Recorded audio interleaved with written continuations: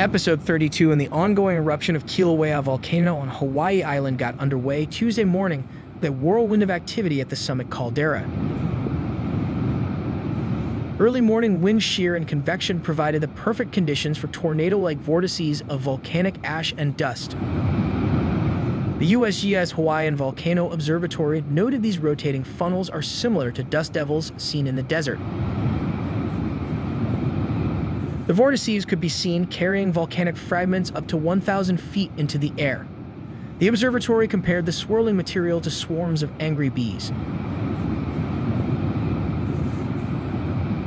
Like the previous episode, the lava fountain was once again inclined, reaching heights of up to 500 feet or 150 meters.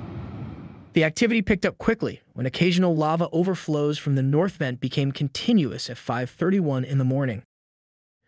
Tilt meters recorded approximately 19.3 microradians of inflationary tilt since the end of episode 31. As of yesterday, forecasting models suggested the window for this activity would be later in the week, sometime between Wednesday and Friday.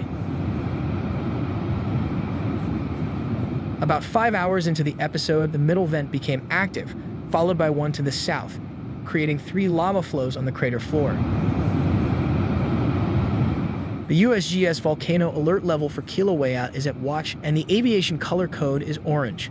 All activity is currently confined to the summit caldera within Hawaii Volcanoes National Park.